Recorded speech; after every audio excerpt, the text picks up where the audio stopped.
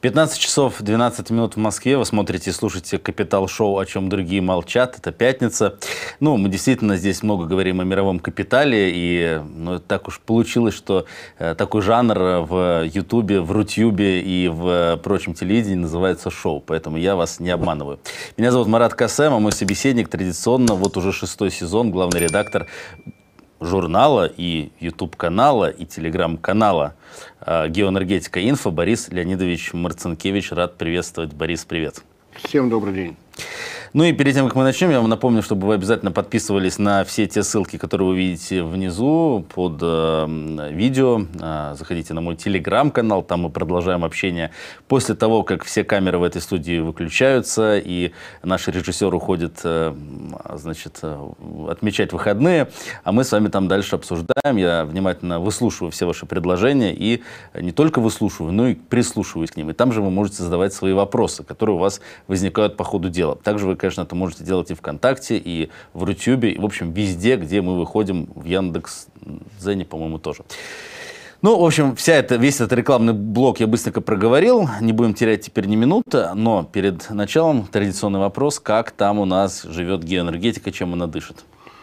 Живет, дышит, что уже само по себе приятно, несмотря на то, что YouTube не восстанавливает монетизацию. Благодаря зрителям мы продолжаем работать. Вроде бы, вроде бы не так все у нас и плохо. Что касается меня, то у меня завтра выходные не намечаются. Завтра издательство «Завтра» и студия «День ТВ» проводят общественную конференцию под названием «Сверхновая Россия», где мне доверили тоже выступить. Готовлюсь, будем размышлять, надеюсь найти единомышленников – так что не все так просто с выходными. Там, в принципе, довольно мощный состав участников, насколько я знаю, помимо тебя, конечно, безусловно, но и э, другие участники круглого стола тоже звонкие имена, скажем так. Да, Александр Проханов обещает приехать, э, будет Фурсов. Надеюсь, что будет интересно. А потом можно будет видео посмотреть это? Да, конечно, в День ТВ все это обязательно выложит. По-моему, первое время платная подписка, дальше в общем, будет доступ. все как обычно, ну, платное, потому что зал чужой, аренда дело серьезное. Будем следить. А, во всяком случае, а, дорогие друзья, перед тем, как мы приступим, я сегодня необычно мы начнем. Сегодня мы начнем с вашего вопроса. На самом деле, я его тоже хотел а, задать. Сергей, в частности, задает вопрос. Миссия МАГАТЭ выпустила документ по теме посещения Запорожской АЭС. Что в нем сущностного, кроме обтекаемых пожеланий за все хорошее? Ну, там действительно какой-то такой, какие-то школьные прописные истины. Надо прекратить боевые действия вокруг АЭС. В общем-то, не написано, кто ее обстреливает. То есть это там как-то вот в документе не было. Ну и прочие-прочие такие рекомендации, как из какой-то памятки, что ли, такой, знаешь, вот. Как нужно себя правильно вести? Какое твое мнение? Мое мнение, что МАГАТЭ выполняет все функции, которые на нее возложены. Если кто-то забыл, для чего создана организация МАГАТЭ, то могу напомнить. Для того, чтобы все страны, подписавшие э, документы о вхождении в эту организацию, соблюдали договор о нераспространении ядерного оружия. Точка. Давать оценку, кто стреляет, куда стреляет, они еще не дают оценку футбольным матчам, а, не, не дают оценки, как проходила, как работает балетная труппа. Обязанности МАГАТЭ э, проверить, не используются ли ядерные материалы на атомных электростанциях для производства ядерного оружия. Раз. А, два. Не нарушается ли каким-то образом договор о нераспространении ядерного оружия. Это вообще задача номер ноль. А, кроме того, они оценивают, насколько тот или иной ядерный радиационный объект представляет опасность для населения. Давать политическую оценку тому, кто куда стреляет, э, точно в их функции не входит. Поэтому э, рассчитывать на то, что приедет э, миссия МАГАТЭ и громко-громко поругает киевский режим, ну, несколько наивно.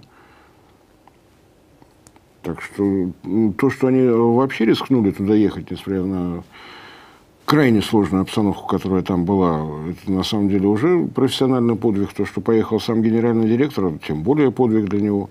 Отдельная тема, что там есть свои ядерные интриги, предстоят выборы нового генерального директора или продление срока. А то, что они констатировали, да, и если говорить о серьезных выводах, которые могут быть, э, нельзя исключать того, что результатом этой инспекции станет э, добавление, исправление постфукусимских требований по уровню безопасности, потому что э, натурно наблюдать ядерный объект, по которому наносит удары артиллерия и авиация, вряд ли кому-то в мире доводилось. Так что я не очень понимаю, почему многочисленные комментаторы ругают МАГАТЭ по этому поводу. Вот загляните в устав организации, загляните в функции, которые она обязана выполнять, и успокойтесь. Рассчитывать на то, что они приедут, скажут, вот э, с направления северо-северо-восток гаубичная артиллерия калибра нанесла удар. Ребята, ее интересует только как сохранность ли ядерный объект, нет ли опасности для населения. Первый вопрос. Второй вопрос. Нет ли следов того, что э, облученное ядерное топливо использовалось для извлечения материалов, которые позволяют создать либо грязную бомбу, либо атомную бомбу, либо ядерную бомбу? Они свои функции выполнили, а рассчитывать на что-то большее, ну, я понимаю, политическая экзальтированность, но если кто-то считает себя экспертом, ну, джентльмены, устав организации МАГАТЭ не является секретом. Даже в Википедии можно найти, если уж на то пошло. Так что я считаю, что то, что от них можно было ожидать, мы и получили. Все ну, остальные выводы должна делать э, ООН, как вышестоящая организация. Отчет на стол лег. Ну и все.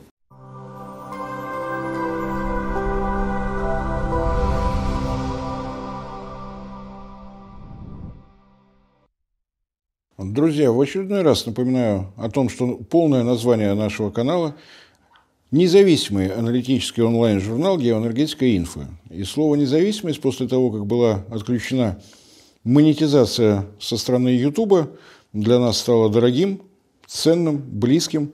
А, для того, чтобы сохранять независимость, вы прекрасно понимаете, что в наше тревожное время необходимо прежде всего альтернатива, поиск спонсора, который будет задавать нашу новостную повестку, нашу, так скажем, стратегию и тактику, нам э, кажется не самым удобным, поэтому э, напоминаю о том, что нас можно видеть прежде всего в нашем телеграм-канале, где мы стараемся сообщать все новости, касающиеся нашей работы, наших новых проектов. Вы нас можете видеть на портале ВКонтакте, вы нас можете видеть в Зене, вы нас э, можете поддерживать за счет того, что у нас имеется страница на спонсор.ру. Все это будет в описании под этим моим кратким вступлением с напоминанием о том, что если вы хотите, чтобы проект «Геоэнергетика инфо» продолжал развиваться, нам необходима ваша помощь и поддержка. Большое спасибо за внимание.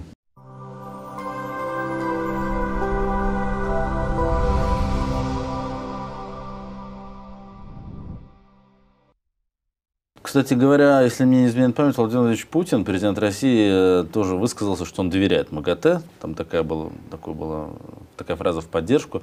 Но вот, кстати говоря, э, те люди, которые, как ты их называешь, комментаторы, на этом они не успокоились. Даже после заявления президента они продолжили что-то требовать.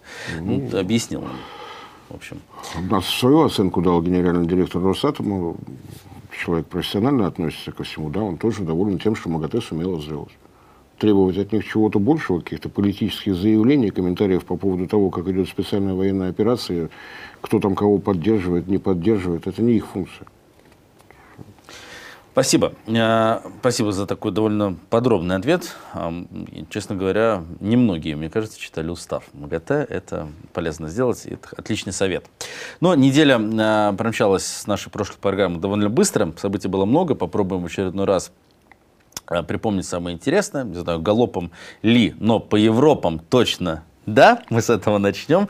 Я знаю, что ты уже, наверное, устал от этой темы про европейцев, но э, ничего не поделаешь. Есть такое слово «надо». А, ждем, конечно, когда уже весь ЕС хором начнет скандировать вот это вот знаменитое «Winter is coming», но пока больной перед смертью начинает потеть. Сегодня, кстати говоря, 9 сентября а, должно пройти совещание министров энергетики стран Евросоюза, которую созвала Чехия. Эта страна сейчас председательствует в этом экономическом объединении. А, ну, новостей о том, чем закончилось это собрание, э, ну, очевидно, что в числе прочего, там, конечно, будут обсуждать э, предложение Ур, Ур, Уршули, Урсули, его, кстати, по-разному называют, Урсулы фон дер Ляйен о введении потолка цен на российский газ. Какие настроения в Европе по этому поводу и э, какими могут быть результаты сегодняшнего заседания? Что мы можем сейчас прогнозировать? Урсула, тут Как выругался сейчас. В беседе с Александром Фроловым мы в режиме онлайн придумали слоган «Господин Воланд, нам так не хочется мерзнуть этой зимой. Поздно. Урсулушка уже пролила масло». А, мысль, конечно, интересная. Как будет реагировать Россия? Для тех, кто чего-то не понимал, вслух все сказал Владимир Путин на пленарном заседании Восточного экономического форума. Если очень коротко, вечером студия, утром деньги. Если вы, э, многоуважаемая западная компания, выполняете договор с «Газпромом», вы получаете газ. Если не выполняете, значит не получаете. В договоре формула цены написана? Написано. Ваша подпись стоит? Стоит. Вы хотите другую цену? Всего вам доброго, наилучшие пожелания. И не более того. Настроение, которое а, в Евросоюзе, как ни неожиданно, достаточно разное. То есть, э, есть э, страны, которые ищут потолок, есть политики, которые ищут потолок. Это тоже какой-то фантастический результат. Потолок ищут те, у кого съехала крыша, откровенно о том, что нужно вводить э, потолок на российский газ, э, заявляют Финляндия, Швеция и Дания. Три страны, которые российский газ просто не получают. Вы о каких потолках говорите? Вы вообще кто такие? Вас тут не стояло. Вы не покупаете российский газ. О каких потолках вы говорите? А, Чехия вообще говорила о том, что этот вопрос из рассмотрения на сегодняшнем заседании просто нужно снять. Свое мнение а, высказала а, Венгрия, которая сказала, что, конечно, об этом потолке можно говорить. Если Евросоюз желает остаться вообще без российского газа, конечно, нужно продолжать обсуждение. Один из венгерских политиков вчера предложил формулу, как снизить стоимость газа в два раза и остановить инфляцию. Может быть, его кто-то услышит. На мой взгляд, очень простой рецепт. Надо снять все санкции с России. У него свое мнение, ну, венгерские политики отличаются наглостью, безапелляционностью. Они позволяют себе думать об интересах Венгрии. Это вообще какой-то ну, невероятный кошмар. Что у них происходит? Поставки из России да, сокращены до предела стараниями польских панов. Не работает Ямал Европа. В одностороннем порядке Украина прекратила принимать российский газ через один из газопроводов, то есть э, через газотранспортную систему Украины идет сейчас половина от того, что могло бы идти по договору 2019 года. А, не работает «Северный поток-2», а, стараниями Сименса не работает «Северный поток-1», так что ну, к зиме подошли к тем, что подошли. Если помнишь, был ажиотажный вот этот момент, когда э, ежедневно кто-нибудь из европейцев рассказывал, на сколько же процентов, а то и процентов заполнены подземные хранилища газа, давайте, давайте. Ну вот заполнили. Стало ли кому-то от этого легче? Теперь они пытаются придумать, как еще успокоить свой электорат. Электорат начинает что-то понимать. Некоторые даже не очень хотят мерзнуть. Некоторые, есть люди в Европе, которые хотят э, ходить в душ не два раза в месяц, а ну хотя бы три. Не знаю, что это такое вместо того, чтобы в едином порыве, единый европейский дух, если чувствуешь дух, европеец, если нет, надо подозревать, не агент ли это Кремля. Поставки сжиженного природного газа со стороны э, тех стран, которые желают в этом участвовать, продолжаются, потому что по-прежнему наиболее высокие цены э, на спотовых поставках демонстрирует именно Европа. Э, газ идет, в тех объемах, которые позволительны. Все остальное будет зависеть от того, как сложится осень, как сложится зима. И мне особенно приятно, что когда мы говорим о тех, кто заявляет, что мы самый высокоразвитый регион планеты, у них там все зависит от того, будет ли зима снежной, будет ли зима холодной, будет ли зима теплой. От этого зависит их политика, от этого зависит геополитика. Замечательно. Что касается э, результатов всего этого, э, как отметил Виктор Орбан в борьбе с Россией, Евросоюз четыре правительства уже потерял. Э, и сегодня утром прозвучала еще одна громкая отставка. Министр окружающей среды Молдавии вынуждена была пойти в отставку из-за возмущения по поводу того, что она слишком долго запускала сайт о продаже дров. такая громкая, громкая отставка, не смогла, не справилась. Если говорить серьезно, то я действительно не понимаю, как собирается зимовать э, Европа. Ничего там, кроме нормирования раздачи природного газа и есть подозрение даже каменного угля не предвидится. Э, это означает, ну, по крайней мере, в исполнении Германии, что нормировать будут прежде всего поставки газа э, в промышленность.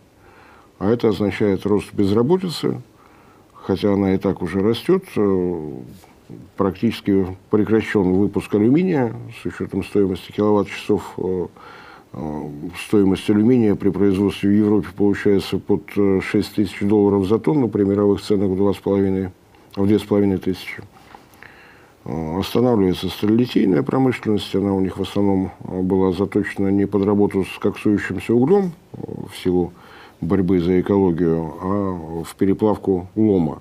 Переплавка – это электроэнергия, с этим у нас тоже уже не получается. Нарастает дефицит туалетной бумаги и всего, что вот э, связано с салфетками и прочими, прочими, что это наиболее энергоемкая часть бумажного производства. Ну, в таком виде они хотят зимовать, и здесь, э, на мой взгляд, для э, политиков Европы ситуация описывается шахматным термином «цугцванг», какой ход не сделаешь, все равно проиграешь. То есть э, можно э, взять и запустить Северный поток-2. Но тогда приедут э, инспектора из, из-за океана и накажут, поставят в угол. Будет больно коленями на горохе стоять. А можно продолжать изобретать потолки, еще что-то. Но тогда может закончиться тем, что электорат укажет, где здесь дверь, а может и в окно вышвырнуть. Так что Ситуация сложная, но по-прежнему политики Европы говорят о том, что необходимо поддерживать э, киевский режим, вкладывать в него деньги. Э, вот эта дама, которая не помнит, как ее зовут, то ли Анна, то ли Лена, Анна Ленна, Бербак договорилась за того, что ее мало интересуют проблемы граждан Германии, больше интересует э, собственное, ее собственное обещание киевским политикам. Ну, в принципе, люди мы демократичные. Если в европейских странах таких правителей себе выбирают, ну, значит, э, в этом как раз и заключается коренной интерес европейского населения. С учетом того, насколько покорно э, европейский бизнес выполняет любые пожелания своих политиков, все у них идет так, как им нужно, с чем я, собственно говоря, от души их поздравляю. Все в порядке,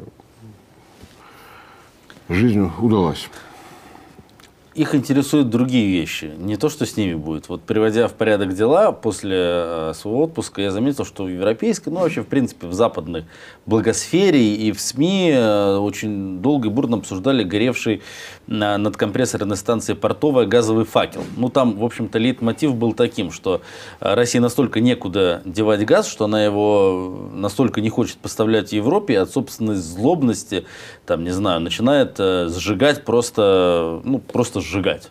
Просто сжигает. Что происходило, происходило в реальности и почему этот факел погас буквально несколько дней назад? Ну, произошло то, на самом деле, э, давно уже ждали. Еще в 2018 году «Газпром» планировал на той самой рядышком с компрессорной станцией «Портовая» э, запустить производство жиженного природного газа, среднетоннажное, что, собственно говоря, и сделано два дня назад, вот как раз во время Восточного экономического форума, а, «Газпром» официально сообщил о том, что запущен завод. Это две технологических линии по 750 тысяч тонн в год, среднетоннажная. То есть к среднетоннажным а, заводам СПГ относят те, производство которых не более 1 миллиона в год. Но там две таких линии. Этот завод способен производить до полутора миллионов тонн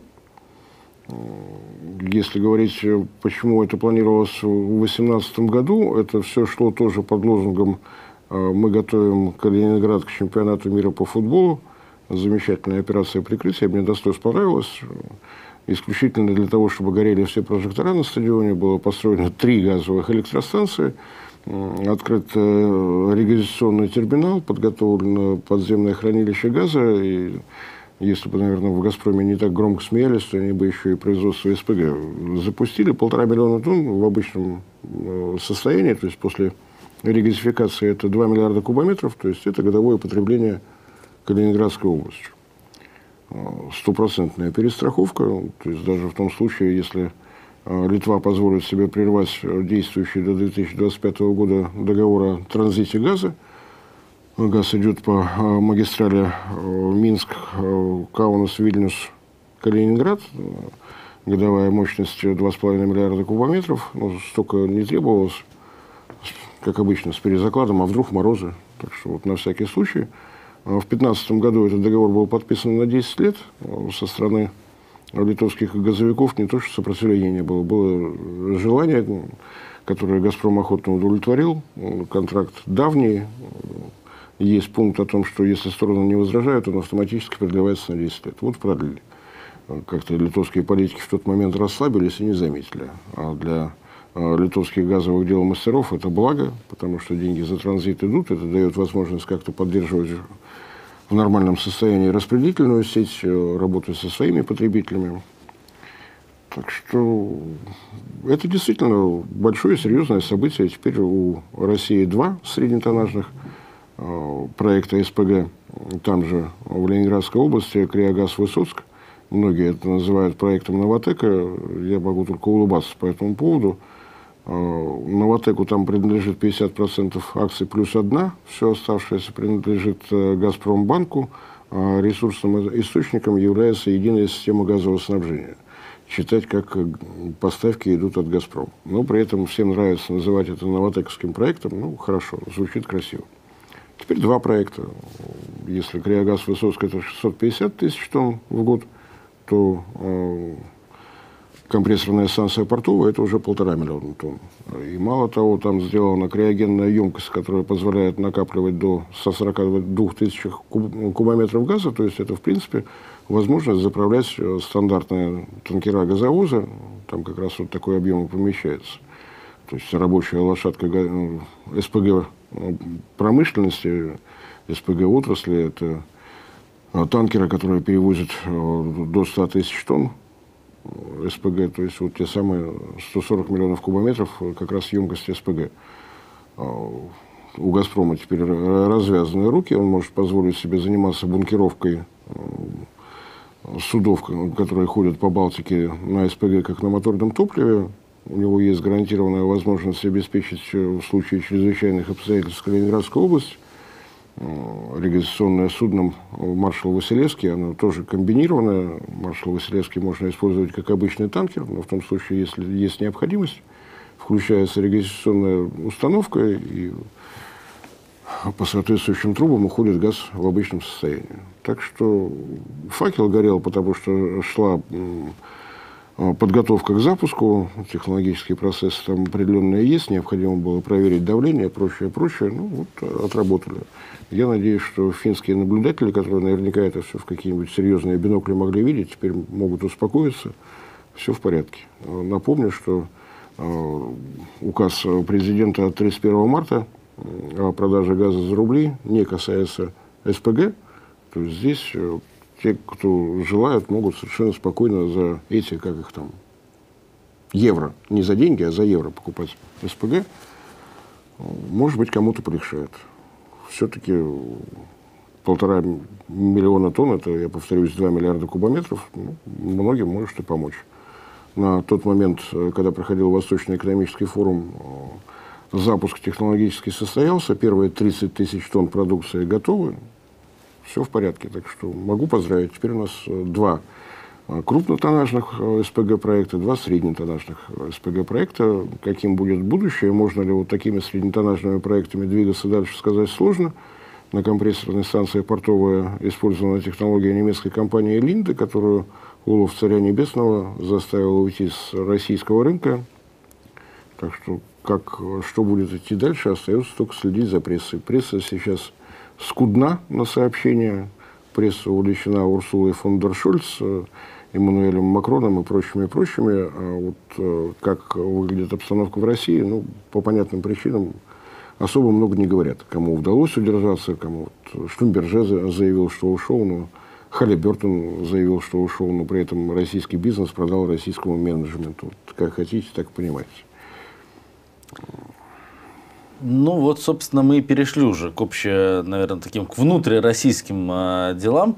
Международная панорама, я так понимаю, к твоей большой радости закончилась на этом. Э, ну, на самом деле, она уже закончилась во второй части ответа на предыдущий вопрос. Э, Давай вот, наверное, такой вопрос общефилософский, если, если позволишь. Конечно, смаковать все то, что происходит в Европе, э, вот как раз вот то, что, то, о чем мы говорили в первом вопросе, можно довольно долго, и мы люди, которые, ну, чего греха таить, любим поехидничать всячески над этими ребятами. Но а, для России, насколько я понимаю, важны два момента. Первый, э, привычный для нас рынок сбыта, явно дает дуба раньше срока, и помешать как-то этому самоубийству мы никак не можем. Можем только наблюдать.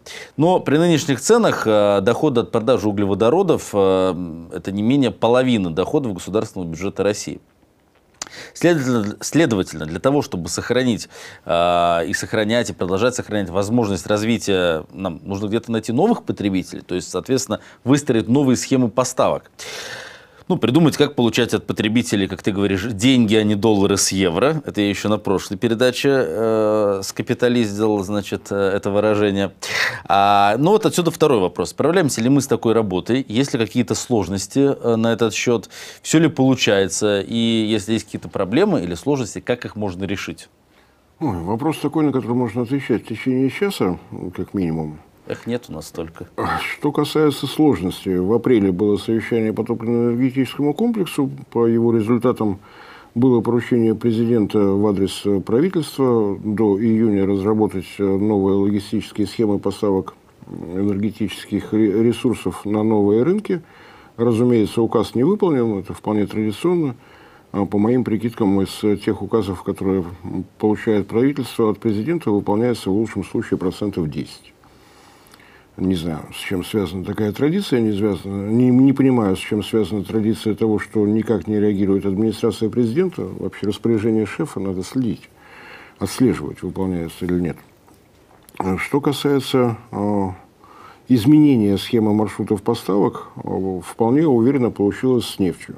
Не до конца, но тем не менее резко увеличились э, объемы поставок в Индию, в Китай. А в три раза увеличила объемы закупки российской нефти Тихая Турция. Надо отдать должное Эрдогану, можно как угодно относиться к Турции, к 300-летней истории русско-турецких войн, но э, Дон Эрдоган, который посредничает везде и повсюду, он и в данном случае вполне уверенно на этих э, европейцах, которые не вымирают, спокойно зарабатывает деньги. Пару лет тому назад на территории Турции э, компания Сокар, State Oil Company of Azerbaijan Republic, построила нефтеперерабатывающий завод. Разумеется, э, перерабатывать нужно смесь э, разных марок нефти. Понятно, что основные поставки идут, из Азербайджана, но это нефть марки Azri Light. Light это маловато, нужна тяжелая нефть, и тяжелой нефтью является нефть марки Urals. А, соответственно, э, все те европейские компании, которые решили, что российские нефтепродукты закупать они сами себе запретят, запретили, молодцы, теперь у них есть возможность покупать не какие-то там российские нефтепродукты, а турецкие. Вот, уже хорошо. Да, это было связано со сложностями, да, был достаточно э, большой дисконт э, по отношению к эталонной марке бренд. Если год назад э, этот дисконт составлял от 3 до 5 долларов за баррель, то в этом году доходил до 40. Причины тоже понятны. Компания судовладельцы, боящиеся попасть под вторичные санкции, наращивали тарифы. Компании, страхующие, боясь попасть под вторичные санкции, наращивали тарифы, и, соответственно, китайские и э, индийские покупатели вели себя совершенно логично. Многоуважаемые российские поставщики, если я, оплачу фракт по тем тарифам и страховку по тем тарифам, которые мне предлагают, мне ваша нефть не интересна. Ну, соответственно, приходилось компенсировать э, за свой счет, но э, дисконт, который в мае достигал 30, э, а то и 40 долларов за баррель сейчас э, удалось снизить до 15-18, то есть э, процесс э, не быстрый, но, как и говорили эксперты, после начавшейся в феврале вакханалии на глобальную схему логистики поставок уйдет от года до двух. Ну, собственно говоря, в таком русле все и движется. Аккуратно, без спешки. Могло быть быстрее, но у России нет своего танкерного флота. Если говорить о статистике, то э, в три раза больше зарабатывают российские э, компании на углеводородах э, из-за роста цен, а тем самым обеспечивая в три раза большую прибыль компаниям Кипра и компаниям Греции. Именно этим компаниям принадлежат самые большие танкерные флоты. Они просто в три раза подняли тарифы очень хорошо себя чувствуют а мы помогаем зарабатывать им деньги, потому что своего флота у нас нет. Как сказал один из выдающихся социологов современности, министр э, торговли этой, как ее там, промышленности Денис Мантуров, э, его ведомство, вот это замечательное министерство, э, начало думать, не нужны ли России дополнительные судостроительные мощности. Это серьезный шаг вперед. Раньше не думал, а теперь думает. Я думаю, еще лет 15-20 в таком режиме, и что-нибудь да произойдет. Можно по-разному относиться к тому, что я сейчас э, высказал, но э, напомню, что единственный в России судостроительный комплекс, способный строить э, танкеры, нефтяные и танкеры-газовозы крупнотоннажные, так скажем, называется «Северная звезда», его строительство началось в 2009 году и продолжается сейчас. Большего позора в России, ну, я, если честно, не припомню. Завод, который мы строим 13 год безостановочно. А при этом генеральным подрядчиком на строительстве является э, китайская компания, потому что в соответствии с действующим в России законодательством э, государственная компания для строительства государственного объекта создать государственную компанию не имеет права обязаны проводить тендер. На Дальнем Востоке компании, которые способны были бы взяться за такое строительство, просто не нашлось, поэтому пригласили китайских товарищей. У нас это в порядке вещей. Как ни странно, Федеральная антимонопольная служба, которая отследила проведение тендера, большая благодарность лично от меня. Все в порядке. У нас это называется конкурентная среда.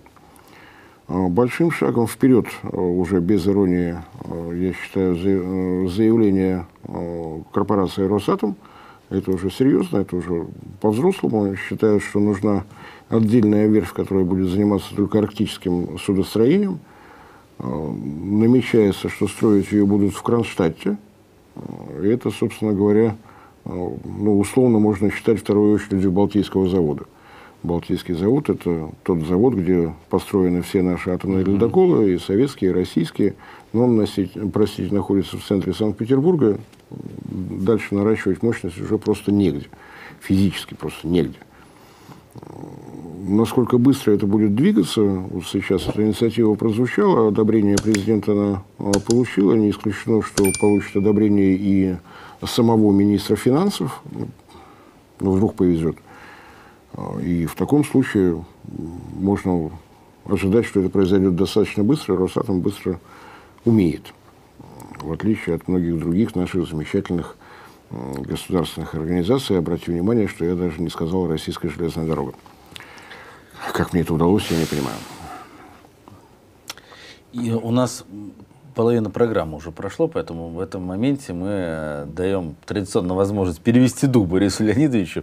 А я вам э, пока за 30 секунд быстренько напомню, что для нас очень важно, чтобы наша программа не только 6 сезонов этих отработала, но еще и появился седьмой. Ставить обязательно лайки и э, постить в социальных сетях э, выпуски, ссылки на э, нашу программу, чтобы как можно больше людей увидело и узнало вот всю эту интересную информацию, которую мы все вместе с вами имеем удовольствие слушать. И э, еще я вам напомню, что пишите свои вопросы. Конечно, в конце я постараюсь э, как можно больше их задать. Ну, обычно 10 минут мы на это выделяем. Может быть, больше, может быть, чуть меньше. В общем, пишите. В телеграм-канале у меня тоже обязательно пишите. Это самый быстрый способ, чтобы я увидел. Но мы заговорили о том, что происходит в энергетике России. Конечно, явно стоит э, вспомнить о весьма значимом и, наверное, может быть, едва ли не самым значимым событием э, вот этой недели, о Восточном экономическом форуме, который произош... проходил в Владивостоке. По-моему, он э, у них вчера был последний день. Вчера был последний, последний день, да. Ну, множество было политических новостей. Центральным событием, конечно, было выступление президента России Владимира Владимировича Путина, как это, кстати говоря, и было на Петербургском э, экономическом форуме, на котором мы с тобой были. Но вопрос к тебе не о политике. ни в коем случае, а о том, что нового для энергетической отрасли принес э, этот форум, эти встречи, эти договоренности, что там вообще происходило? Ну, сугубо энергетического. Э, именно во время этого форума Росгидро сообщила о э, завершении строительства Усть-Среднеканской ГЭС. Установлен четвертый гидроагрегат. Э, гидроэнергетика, вот пока большая в России еще существует, сколько-то времени она еще, наверное, может считаться существующей.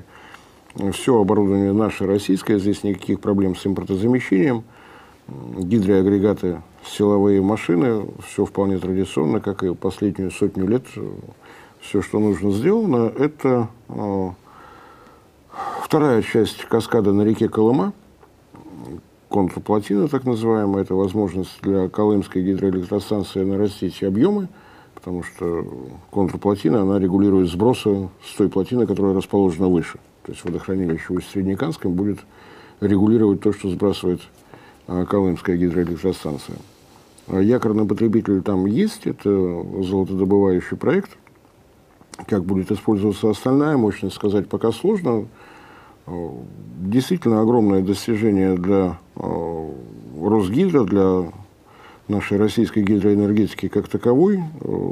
Крайне романтические условия, минус 60 зимой, там, где строится, построена Усть-Среднеканская ГЭС, толщина Э, вечной мерзлоты до 300 метров, то есть работать там приходилось ну, э, в крайне жестких условиях. Я, конечно, очень надеюсь, что Росгидро, ну, может быть, кино какое-нибудь покажет, как все это происходило, потому что ну, строительный сезон, который длится, вот пока не настали эти бешеные морозы, как доставлялись такие грузы многотонные, это очень интересно. К сожалению, это э, единственная крупная гидроэлектростанция, которая в России строилась, и не исключено, что этой отрасли у нас больше просто не будет. В том случае, если не начнется реализация новых проектов.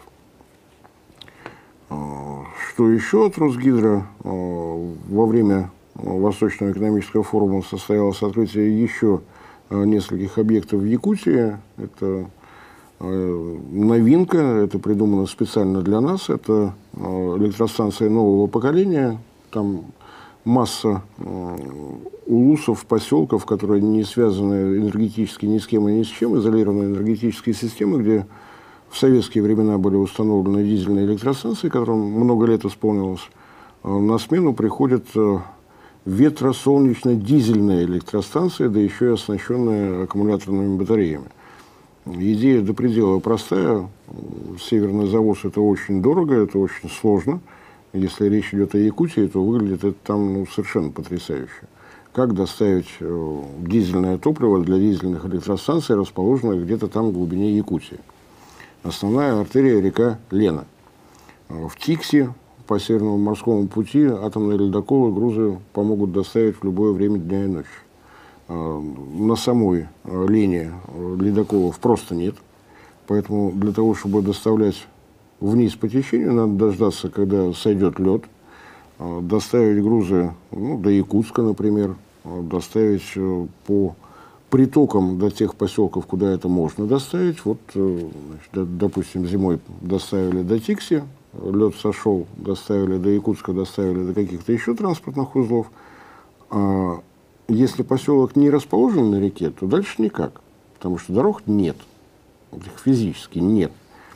Значит, для того, чтобы доставлять вглубь территории Якутии, надо дождаться э, начала зимы, проложить зимник в условиях полярной ночи, и вот только после этого доставить топливо для дизельных электростанций. Сколько стоит такое дизельное топливо после того, как его доставили, даже наверняка, если поднять бухгалтерские отчеты компании Росгидро, это видно, но я думаю, там такие цифры, которые нас всех удивят. Почему идея с ветром и солнцем – они, э, компания Росгидро не рассчитывает на том, что она зарабатывает э, деньги на повышение тарифов. Компания Росгидро каждый украденный киловатт-час у солнца, у ветра пересчитывает в бочке дизельного топлива, которое не пришлось вести вот таким маршрутом. И вот таким образом эти электростанции совершенно спокойно окупаются. Не за счет того, что подняли цену, а за счет того, что перестали таскать вот эти замечательные бочечки. Э, запланировано 72 таких новых объекта Сейчас, по-моему, открыли э, сразу 8. Процесс пошел. Кроме того, Росгидро зафиксировала, что ее электрозаправочные станции на Дальнем Востоке вышли в ноль. То есть э, те инвестиции, которые были вложены, вот за три года уже окупились. Почему на Дальнем Востоке, тоже понятно, потому что дешевые электромобили на вторичном рынке Японии и Китая есть возможность привозить. И электротранспорта легкового на Дальнем Востоке больше, чем в столице нашей Родины, как ни странно. Ну, этот процесс тоже идет. Из э, серьезных событий э, подписано Э, соглашение рамочное между э, Росатомом и Мьянмой. Э, насколько можно судить, но пока еще расшифровки вот полной не было, не давал никто из Росатома интервью, есть только сообщение от ТАСС о том, что в Мьянме размышляют о малых атомных электростанциях, либо плавучих, либо наземных. Будем ждать подробностей. Чего бы то ни было такого еще более серьезного, было очень интересное такое многоплановое интервью министра энергетики, опять же, э, компании ТАСС. Э, ну, а так, собственно говоря, вот и все. Спасибо. А самый большой плюс работы в прямом эфире, что можно получать новости и сразу же их комментировать. Министр, ой, министр, ну да, министр иностранных дел, глава МИД, э, если угодно, э, Венгрии Петр Сиярта, наш старый друг, мы о нем много здесь говорили, сообщил, что министры энергетики стран Евросоюза не достигли решения по установлению э, потолка цен на российский газ. Ранее СМИ сообщали, ну ранее это в смысле полчаса назад, имеется в виду, что многие страны Евросоюза выступили против такой инициативы, она не получила широкий отклик. И так страны Тут перечислено. Германия, Австрия, Венгрия, Греция, Чехия, Польша и другие. Против потолка. Против потолка. Против То есть это перечисленные страны, где у политиков крыша съехала не настолько сильно, чтобы бороться за потолок. Ну? Да. да. Ну, в общем, не нашла отклика. Не знаю, ожидаемо это было, в принципе? Ну, ожидаемо совершенно, потому что есть совершенно четкое заявление лидера России, что при любой попытке отойти от э, действующих контрактов с «Газпромом», «Газпром» просто, если вы не выполняете договор, ну, соответственно, вы мне развязали руки, и я не буду выполнять. Ну, давайте расстанемся друзьями, мы, мы вас будем помнить э, молодыми, чистыми, теплыми. Не хватает э, рюмки и кусочка хлеба, мне кажется, сверху такого да, черненького. Сегодня утром заметил на родном для нас всех сайте РИА.ру, РИА Новости, э, сообщение о том, что руководитель Приморского края просит правительство объявить ситуацию э, чрезвычайного, ну, объявить чрезвычайную ситуацию, наверное, так правильно сказать. Чрезвычайную ситуацию федерального Федераль, масштаба. Федерального масштаба даже, да, так будет правильно.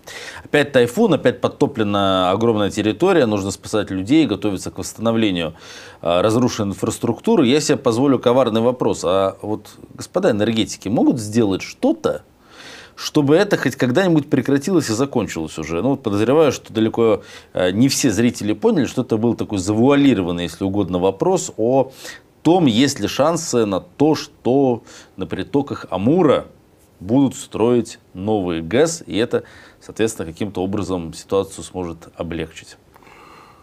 Ну, в августе прошлого года Президент Российской Федерации Владимир Путин дал поручение правительству Российской Федерации, э, ответственным лицом назначен Михаил Владимирович Мишустин, о решении вопроса о строительстве трех гидроэлектростанций на притоках реки Амур в Приморском крае.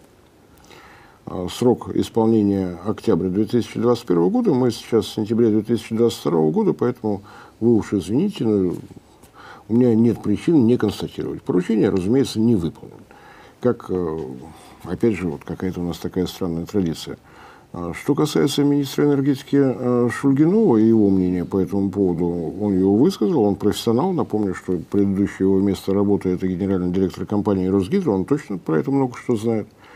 Да, основные притоки Амура а, все-таки реки, текущие со стороны Китая, поэтому противопаводковое влияние новых гидроэлектростанций, конечно, будет, но не настолько масштабное, чтобы совсем уж все это прекратилось.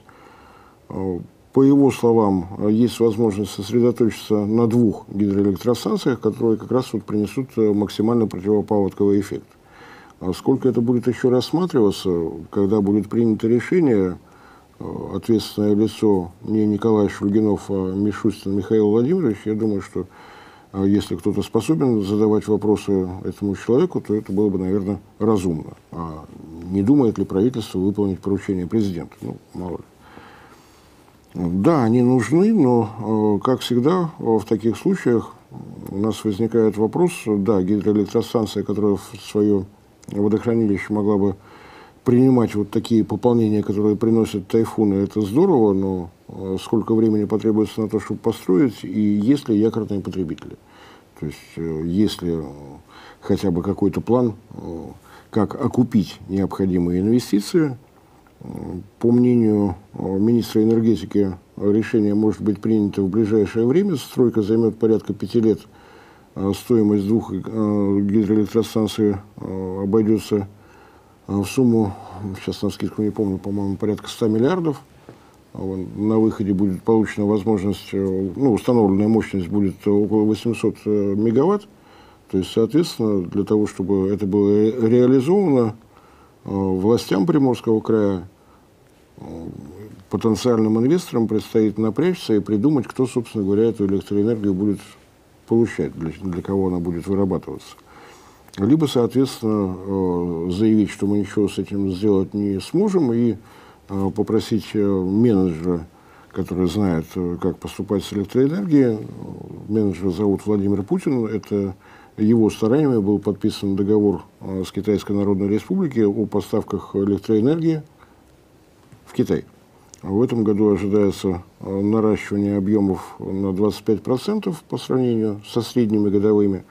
Рамочное соглашение Китай э, декларирует, что он э, способен покупать до 30 миллиардов киловатт-часов, а обычный объем 3 миллиарда киловатт-часов. Много разговоров о том, что очень дешево продаем.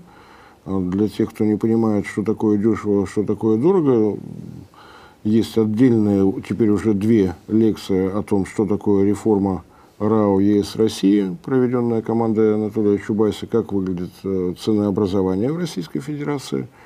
Эм, на YouTube-канале э, «Аврора» э, две беседы с Моисеем, с Моисеем Мировичем Гильманом, одним из наших серьезнейших, выдающихся экспертов во всем, что касается промышленности и энергетики. Я буду гордиться тем, что мне довелось провести две беседы с ним.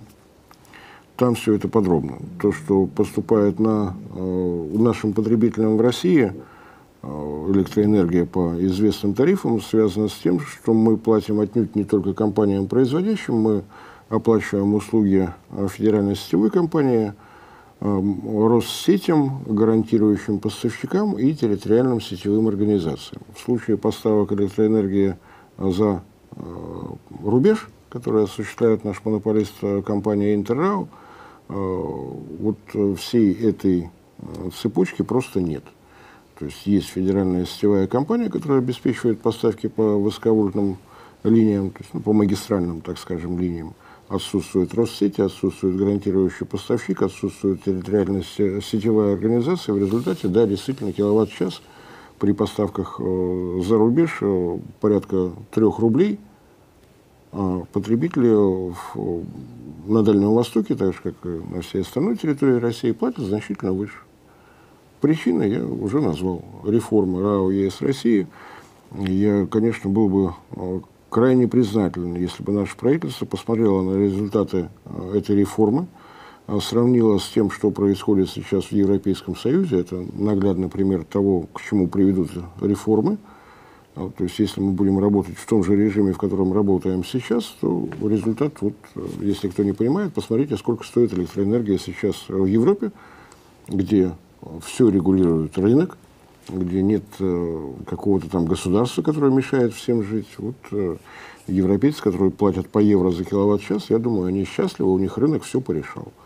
А, я бы был ну, крайне признателен, если бы кто-то в очередной раз оценил результаты реформы РАО ЕС России. Для чего, зачем, почему нам вот в этой цепочке от производителя до потребителя а, требуется, помимо компаний, владеющих электростанциями, две сетевые компании, гарантирующие поставщик, территориальные сетевые операции, э, операторы.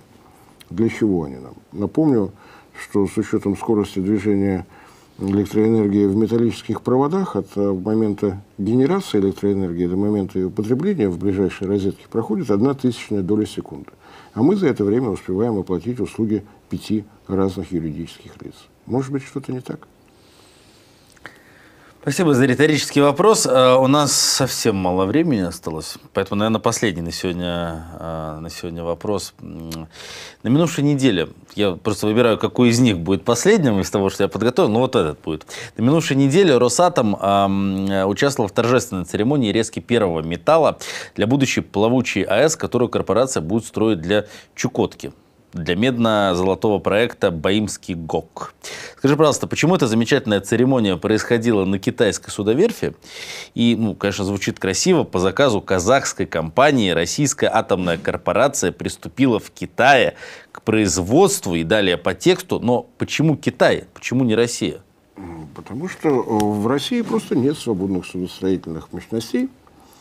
А, Министерство торговли и это, как ее там промышленности, уже начало об этом думать. А, дело в том, что а, договор о поставке трех плавучих атомных электростанций на базе реактора «Ритм-200» Это соглашение с казахской компанией «КАЗ Минералс», которая в 2027 году намерена начать реализацию проекта Баемского ГУК. Это добыча э, руды, содержащие медь и золото, это ее переработка на месте, для этого требуется электроэнергия и э, решение э, правительства России, что эту электроэнергию будет предоставлять Росатом.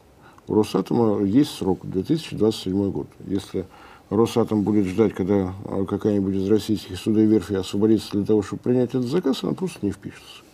Вот, собственно говоря, весь ответ. Отдельно поклон нашему Министерству торговли и этой, как ее там, промышленности – Дела у них идут неплохо.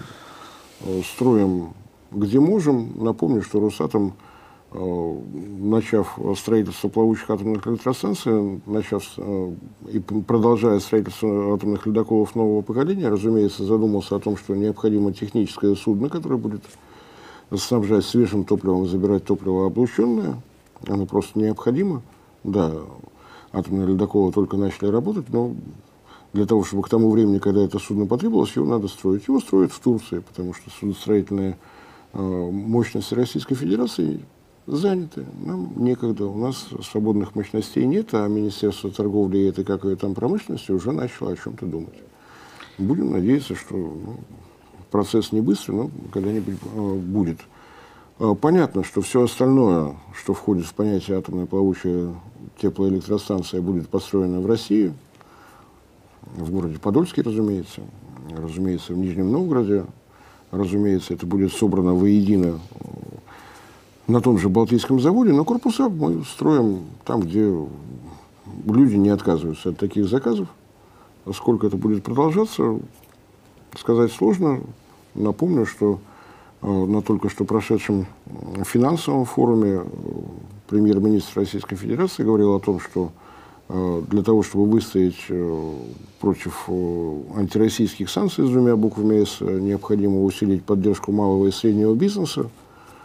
Так что, ну, будем надеяться, что малый и средний бизнес поможет нам со строительством атомных плавучих электростанций. Спасибо. Переходим к вопросам зрителей. Сегодня какой-то ты, Борис Леонидович, ну даже не знаю, как сказать, жесткий я, в оценках. Я не жесткий, я говорю то, что слышу, я просто повторяю. Да. Сказано мало средний бизнес. Люди будут удивлены. Мы, все называют нас пропагандистами, которые только все хвалят, а мы говорим, вот видишь, как выяснилось, еще и о проблемных точках, о болевых.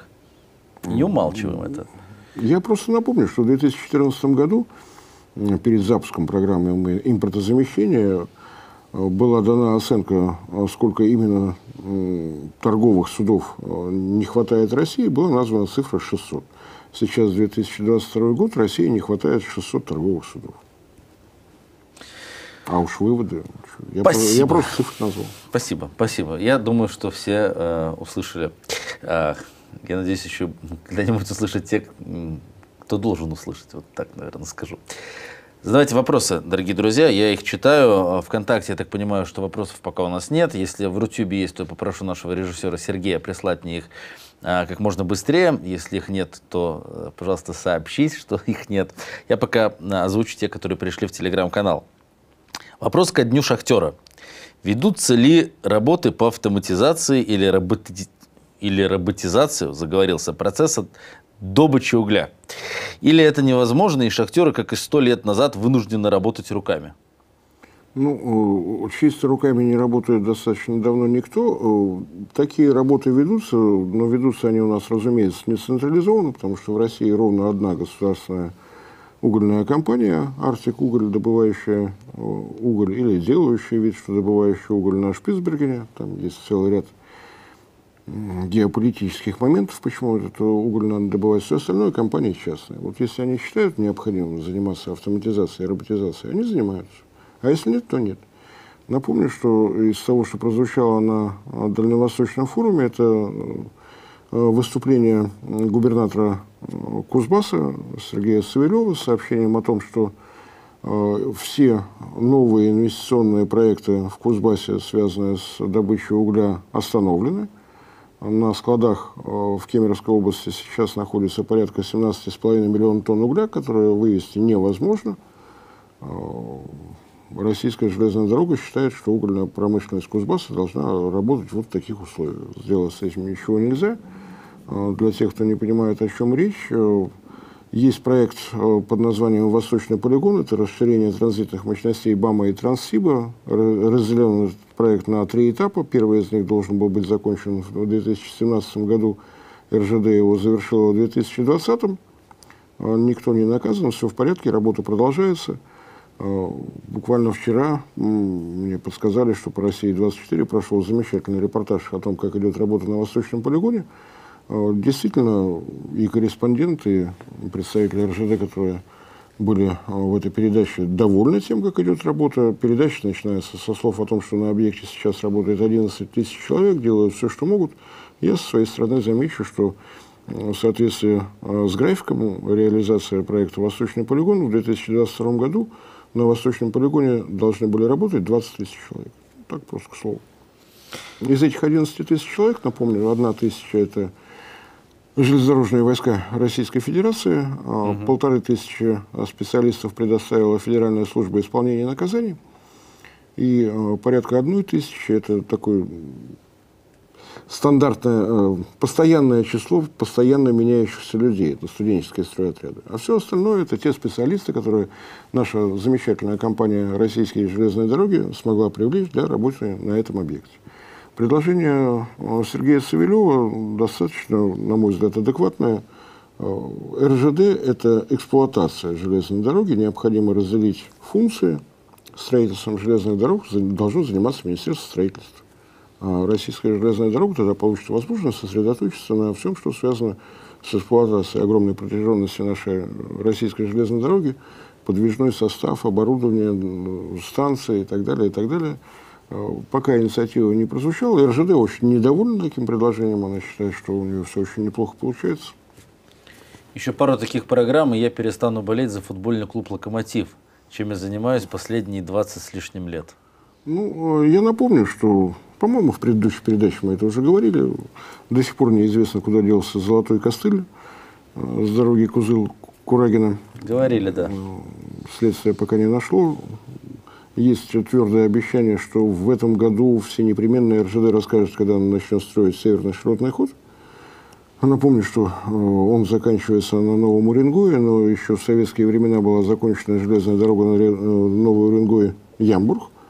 Ямбург – это не только э, город, не только э, аэропорт, но и порт в Обской губе, то есть практически на Севморпути. Э, продолжительность северного широтного хода порядка 700 километров. Для того, чтобы было с чем сравнивать, не дождавшись решения РЖД, начато строительство новой железной дороги от месторождения угля Эльга до э, побережья Охотского моря 500 километров. Строит частная компания Эльга Уголь. Э, вот эти 500 километров она рассчитывает, что закончит через два года вместе с новым портом. А РЖД, ну, решение о том, что северный широтный ход э, нужно строить, было принято в 2018 году. Сейчас 2022, и есть обещание, что в этом году появится план строительства. Спасибо. Александр Григорьев. А, недооценил я ВКонтакте. ВКонтакте тоже начали люди писать. Александр Григорьев, в частности, э, интересуется, может, может разделить, может стоит разделить торгашей, спекулянтов и промышленность производителей, как может один человек действовать в интересах и того, и другого. У них вроде разные интересы, нужно пошлины поднимать для роста производства, но это плохо для торговли. И как тогда быть с этим конфликтом в лице одного человека и ведомства? Ну, я не знаю, кто-то же принял решение о том, что у нас должно быть именно Министерство торговли и промышленности. Кто-то написал регламент его работы, возглавляет его достаточно долгое время Денис Мантуров. У него есть 11 заместителей, среди них э, есть два человека, имеющих профильное образование, что, на мой взгляд, достаточно серьезно. Есть э, два политолога, среди заместителей министра промышленности. Есть один э, африканист, выпускник Московского университета. А, и а, остальные – это специалисты по муниципальному управлению, заканчивали соответствующие вузы. Вот они руководят э, и промышленностью, и торговлей одновременно. Спасибо, спасибо, спасибо. Я Остановимся на этом. по государственному управлению, я просто рассказал, вот как выглядит остановимся на этом, пока не поздно. А, Людмила, а, не только Людмила, вот Людмила ВКонтакте пишет, почему Россия поставляет газ в Латвию, несмотря на антироссийские выпады. А в Телеграм-канале Людмиле вторит, значит, кто это, подождите, писал? Дмитрий. «Газпром до сих пор ведет поставки газа в Латвию», сегодня новость была, «а могли бы устроить показательную порку с минимальными потерями для России». Интересует мнение БЛМ по этому вопросу. Ну, я напомню, что было официальное заявление руководителя компании «Латвия с газа». Компания «Латвия с газа» – это торгующая компания, импортирующая, продающая. Ну, она не отвечает за газопроводы, не отвечает за подземное хранилище. На всякий случай напомню, что 34% акций компании «Латвия с газа» принадлежит компании «Газпром». Тем не менее, руководитель «Латвия с газа» сообщил о том, что покупки за рубли не ведутся. То есть это не поставки «Газпрома». Покупки идут, российский газ идет, и господин Калович с этого не скрывает, но он покупает не у «Газпрома» и не за рубли. Точка. Есть целый ряд европейских компаний, которые не видят ничего плохого в том, чтобы покупать газ за рубли, а уж как они его продают, почему он оказывается в Латвии, ну, это вряд ли вопрос к «Газпрому». Большое спасибо. А, следующий вопрос у нас такого характера. Алексей, Борис Леонидович, почему в Европе не пошла концепция добычи тепла Земли с помощью тепловых насосов? Это что, дорого? Если в Европе не пошло, ну, действительно, человек сам себе ответил, это дорого.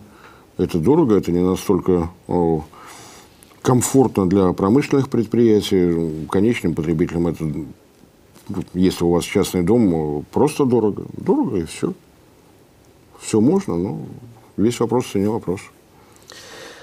Скорее всего, завершающий на сегодня, э, завершающая реплика от наших зрителей.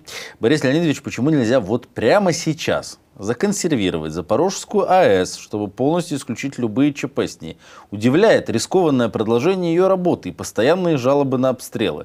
Тем более, если еще и какая-то часть энергии идет на оккупированные нацистами территории бывшей Украины бывшей Украинской Советской Социалистической Республики. Ну, давайте э, напомню, что 6 реакторов – это 6 реакторов. Это э, не только реакторы, это 6 бассейнов выдержки, где находится топливо, э, закончившее топливную сессию, то есть извлеченных из активной зоны. И то, и другое нужно постоянно охлаждать. Вода должна циркулировать, иначе будет беда. Для того, чтобы насосы работали, нужна электроэнергия. Сейчас работает ровно один реактор из шести имеющихся, и у меня есть сильное подозрение, что основная часть выработки идет как раз на то, чтобы охлаждать активные зоны, даже если они не работают, ядерные процессы там идут, лишнее тепло в, в обязательном порядке надо снимать. То же самое касается бассейна выдержки. А что касается поставок на ту территорию, которую контролирует а киевский режим, ну давайте вот э, дадим возможность поработать юристам и бухгалтерам. Напомню, что то топливо, которое находится сейчас в активной зоне реакторов Запорожской атомной электростанции, приобретено компанией «Энергоатом» украинской за э, деньги бюджета или за свои э, прибыли, я уж не знаю, там не вдавался в подробности. Поэтому прекращение любых поставок, ну это, извините, смахивает просто на грабеж. Я думаю, что там юристам и бухгалтерам, чтобы разобраться вот во всей этой сцепке, кто кому поставлял, откуда взялось топливо. Там есть э, российское топливо, которое у России же купили, есть топливо Вестингауза. Я думаю, что рано или поздно мы дождемся оценок специалистов, как э, реакторы выдерживали э, смесь двух топлив от Вестингауза и от Росатома. Вот решать вопрос в лоб с криками нацисты, ничего не продадим, ну это, конечно, хорошо, но Мир, он не очень черно-белый, он местами серенький, кое-где в крапинку и в полосочку.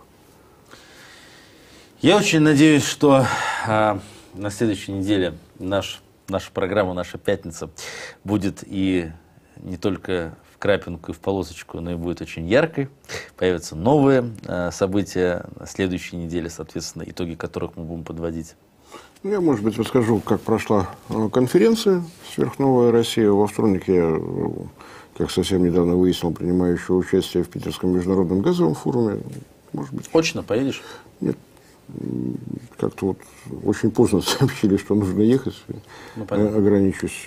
Ну, приняли решение, что ограничусь, вот как, как это называется, там, Zoom, Skype, специальное слово. А в онлайне? Онлайн, вот. Онлайн. Да. Но тем не менее. Будем следить, будем следить. Друзья, Поддерживайте наш канал, оставайтесь с нами. Я очень надеюсь, что сегодня мы рассказали, ну, что значит мы, Борис Леонидович рассказал, я задавал вопросы, в том числе и ваши, и вы узнали, я надеюсь, много нового и интересного. И на следующей неделе, э, в следующую пятницу, э, вы снова прильнете к экранам и будете смотреть «Капитал-шоу. О чем другие молчат» вместе с вашим покорным слугой Маратом Касемом и улыбающимся сейчас главным редактором журнала «Геоэнергетика Инфо» Борисом Леонидовичем Марцинкевичем. Обязательно заходите на геоэнергетику, в том числе на Ютубе. Они там еще остались, последние из магикан. Так что поддерживайте их. Спасибо огромное. За нашими оперативными новостями на нашем телеграм-канале мы стараемся сообщать все, что у нас получается. Есть какие-то новые проекты.